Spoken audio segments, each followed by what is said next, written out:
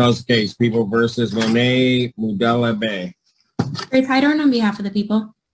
Ready, Judge. Torshio Feaster, Assistant Public Defender on behalf of Mr. Madoula Bey.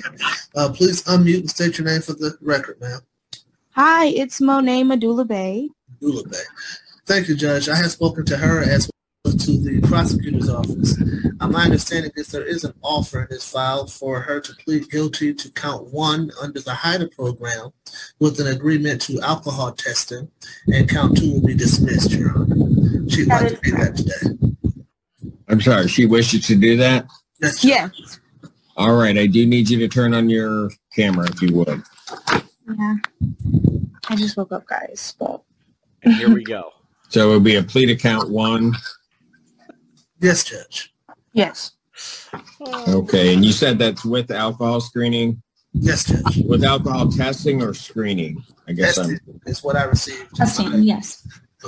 okay. So that has to be part of any sentence. All right. Okay, so it's apparent that this Moorish sovereign, Miss Bey, has an alcohol problem. She was arrested for being intoxicated in public. So right here, she's at her court hearing, I guess, trying to take a plea deal. So let's see how this goes. All right, got it. All right, ma'am, can you please raise your right hand? You solemnly swear or affirm that the testimony you're about to give will be the truth, the whole truth, nothing but the truth to help you God. I agree. All right, state your name for the record. Monet Madoula Bey. Put your hand All right, you can put you can put your hand down. I wanted to. All right, ma'am, it is this court's understanding that you're going to plead guilty to the charge of disorderly person drunk. That is a misdemeanor punishable by up to 90 days and or a $500 fine plus court costs. You Can you understand- repeat that last part, please? Which last part? Um, just the whole thing. So it wasn't the last part. You need the whole thing repeated. Yeah, I just want to be at this point. Say the whole thing. I want to be Take sure. off your ears and then you'll be good. That's the problem. Okay. Ah, yeah, I know. Okay. So you're pleading guilty to the charge of disorderly person drunk. That is Yes. a misdemeanor punishable by up to 90 days in jail and or a $500 fine plus court costs. Do you understand that? Yes. Understanding all that, do you still wish to plead guilty? Yes. And to that charge, how do you plead? Um, when you say that, you want me to just say what happened, right? Excuse me, ma'am, but what in the doohickey is wrong with you? The judge just asked you if you wanted to plead guilty to the charge, and you said yes. And now he's asking you to that charge, what do you wish to plead? You are supposed to say guilty. What is wrong with you, ma'am? It seems like this Moorish woman might actually be a little drunk at this court hearing, and I hope that's not the case. She clearly just woke up. She has a towel over her head, and she looks like she has on a bathrobe. So she's already just look out there looking crazy. She she's making you Moorish people look crazy right now. You're pleading guilty to the charge of disorderly person drunk. That is Yes. a misdemeanor punishable by up to 90 days in jail and or a $500 fine plus court costs. You understand that? Yes. Understanding all that, do you still wish to plead guilty? Yes. And to that charge, how do you plead? Um, when you say that, you want me to just say what happened, right? You have to Well, say, do you plead guilty? Oh yes, I plead guilty for being drunk and disorderly and Okay, resisting okay, and hold- being alone. He's going to ask you what happened. So hold on a second. Oh, Okay. as soon as I advise you as to what your rights are, you're pleading guilty. Is that correct, ma'am? Yes. All right. Now you understand that by pleading guilty, you'll not have a trial of any kind. I won't have a trial. That's what I said. You understand that? That's the case? Mhm. All right. Because you're not having a trial, you're giving up certain other rights. You're giving up your right to call witnesses to speak for you at trial or to have this court compel their attendance. You're giving up your right to see, hear, and question all witnesses against you at trial. You're also hmm. giving up your right to be a witness for yourself or to remain silent, not have that silence used against you. And you're giving up your right to be presumed innocent until proven guilty beyond a reasonable doubt. You understand that? Yes. You understand you're giving up your right to appeal of. Yes. Are you on probation or parole? No. Has anybody promised you anything other than dismissal of count two to get you to plead guilty to this charge? Um, yes, the first judge that I'd seen, she said she was going to give me a personal bond. I don't know if that was for the first time I You went to mean the jail. or- magistrate? The you didn't see a judge. You saw a magistrate the first time. Oh. magistrate. That's what her name is? So the first time she didn't see a judge, she saw a magistrate. And this Moorish woman has the nerve to say, oh, that's what her name was? My goodness, this Moorish woman is a complete airhead. This this is this is hilarious. Um, yes, the first judge that I'd seen, she said she was going to give me a personal bond. I don't know if that was for the first time I You went to mean the jail. or- magistrate? The you didn't see a judge. You saw a magistrate the first time. Oh. Majesty. That's what her name is?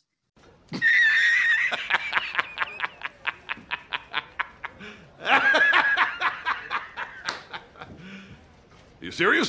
Um, yes, the first judge that I'd seen, she said she was going to give me a personal bond. I don't know if that was for the first time I went to mean the jail. or- magistrate? The you didn't see a judge. You saw a magistrate the first time. Oh. Majesty. That's what her name is?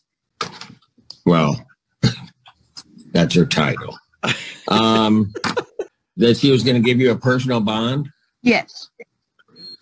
Well, that's what's currently set. Why do you want me to take that away and arrest you and then give you a personal bond? No, I just was letting you know that's the only thing that I. Oh, okay. Good promise to you. Yeah. Okay. Anybody threaten you or coerce you in any way to get you to plead to this charge? No. You're doing this voluntarily Yes. of your own free will Yes. and because you believe that you're guilty of this offense? Yeah. What happens in the dark comes to light. So y'all are going to see a video. So yes.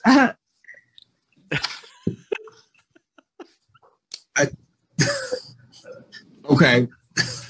You're right about the first part. What happens in the darkness does come to light. But I'm asking you a different question. You're pleading guilty because you believe that you're guilty of this offense of being disorderly.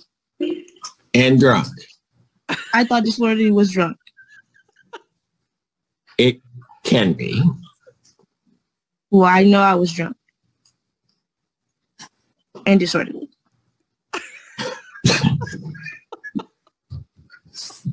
So you're you're so you Miss Bey's lawyer is cracking up over there. This woman is making a complete fool of herself. She is clearly a Moorish airhead. you're pleading guilty to the charge of disorderly drunk because you believe that you are guilty of that offense. Yes. Thank you. On the wrong one. On the date of April 3rd, 2022, at the location of 3135 Scenic Lake Drive, Pittsfield Township, Washtenaw County, State of Michigan. This ought to be fun. Man, what'd you do on that date that makes you think that you're guilty? Well, I know that I don't normally drink and I had like a premiere party because I just did a commercial. So we, you know, we had some drinks, um, casual drinks, but I'm not like normally a drinker. So I drank them. I guess I was mixing brown and light. I don't know if you know that that's not a good combination. And so, yeah, I was drunk. Okay, so what happened? Um, I think I got into it with a family member and that triggered me to be upset while I was under the influence. And I felt like no one was listening to me, so I wouldn't stop yelling. And so there was one officer that was like hearing me out and just understanding like I had a lot going on. And then the other officers, I don't think they were understanding, or maybe I wasn't understanding that they were understanding and they just wanted me to stop yelling. And so I was just still yelling with the officer and Okay, ma'am, hold on. Let's let's back up a second.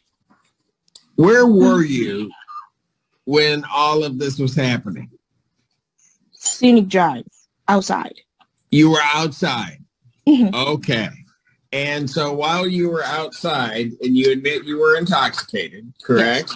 Mhm. All right. And you were yelling at either police officers or other people, right? Is that correct? Yes. Okay. And were you yelling loud enough to disturb the peace and repose of the area around you and other people? What do you, Somewhat. Yes. Okay, what do you mean somewhat? Loud enough, but I don't think I was Hold on a second. loud. You were loud enough to get arrested, right? That wasn't why I wasn't. I don't think I was. The loudness was hundred percent the reason I was drunk. That was the reason. But I wouldn't not stop arguing with them. But my tone was loud. So you were arguing with the police Yes. in public, Yes. And that caused at least their peace and repose to be disturbed, correct? Yes. And so, and so you admit by doing all of that, you were being disorderly. Yes. Counsel, um, please say yes, but has the court complied with the court rule? Would it be proper to accept this defendant's plea?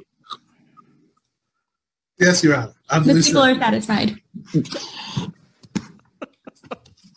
Sometimes it's like picking flowers, other times it's like pulling teeth. Court will accept the defendant's plea of guilty to count one. Count two is dismissed. Ma'am, I'm going to refer you to probation Mhm. for pre-sentence investigation and report. Okay. I don't know about you guys, but to me, for this Moorish woman to get probation because she was drunk in public, it seems a little harsh. Like that's all it takes to get probation is being dr- intoxicated in public. It, it, it just doesn't seem right. I wonder what state she's in because whatever state she's in, they have a zero tolerance for public intoxication.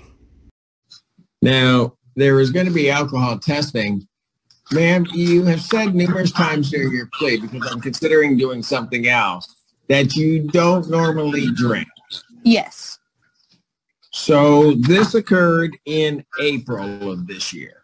Yes. So we are now in June. Yes. So for this entire year, how many times would you say that you consumed alcohol? I don't know. I'd be prior to like a couple months before that, I was already in a program that basically was like a drug program that teaches people like, um, I don't know. Go ahead. Go ahead. So, I wasn't. I was. I wasn't. I. I don't think I was drinking a lot before that incident, and I know. I know, I know. No. Nobody ever does think they're drinking a lot. Listen, all I'm asking is from January 1st to today's date, how many times, other than this time, have you consumed alcohol? Hmm, Just ballpark it. A guesstimate. maybe five times. All right. My birthday was January twenty third. I turned Okay, twenty well, thank you for so sharing. I had to take my first shot. Um. I didn't. I didn't. I did. Did I? Did I ask it all for the days? I just needed the number of times. Okay. She just turned 21 in January. Yes. That's why you had to have your first shot. I mean, I didn't have to, but I'm saying And I was then- legal, and then so by was okay. April- But by April, you were drinking and got arrested. Hmm, Yeah. Not a good track record. That was less than three months. yeah. So here's what we're going to do. I'm going to refer her to probation, but I'm also referring her to Von Swartz for an alcohol screening and assessment so we can figure out the level of testing. Okay, so you got two things you have to do. You have to do an alcohol screening assessment as well as you have to report to probation. Understood? Yes. And if I have any questions on that process, who do I talk to? Talk to your attorney, please. Not, not me. All right. Okay. So I, I didn't mean it that way. Or maybe I did. Sentencing. 13, July 13, 2022, 9 a.m. Bond. That's when I have to do the testing? No, no, no, no, no. No, no, no, no. That's when you got to come back and I impose sentence. You have what to you handle mean? the testing before that. Call me and I will help you get everything set. You're going to have to get an alcohol screening and assessment and you got to talk to my probation department. Okay. Call me, And I'll help you. Come back on the seventh or on July 13th, and then I'm going to give you your sentence. Okay. Got it? Yes. Bond will continue. Thank you. Thank you. Thank you, Judge. Yep. All the other cases are ready to be recalled, of course. Everything is ready now. Um, I have a feeling, though, just curious. All of that stuff I just ordered is not going to happen. I'm just telling you. It's going to get here on July 13th. There's nothing going to be ready. And I'm going to invite everybody back because we're going to hear a long story about why it didn't happen. Just saying. yeah, you got to be Feaster. Torchio, I'm here. Do not put that case on Miss Kleeman. You need to come back and deal with that case yourself. Okay, I'll be Because back I on. think I think everything that just happened it's my and the minutes in my life I don't get back are all your fault. It's my fault, Judge. I'm. I'm Okay. sorry. I take sole responsibility. yeah, will I know, I know. And even if you don't, I'm holding you responsible. Thank you. Chief. Okay. Sorry. Hey,